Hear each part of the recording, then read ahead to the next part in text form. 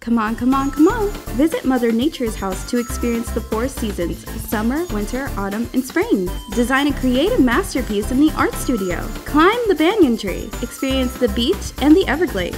Study textures, colors, and patterns at the Loose Art Gallery. Test gravity at the wind wall and water table. Become an architect and build it. Explore so many more exhibits and programs at the Children's Museum of Naples. Learn more at CMON.org. C M O N.org.